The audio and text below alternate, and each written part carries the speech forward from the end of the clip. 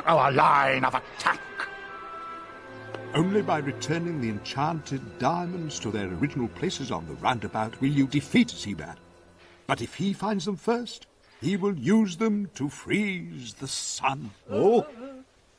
Nothing will grow. Not even grass. Okay, people, we, we got a problem. One of the diamonds is hidden here, on the roundabout. I must stay behind to guard it. To find the other two, you will need this map.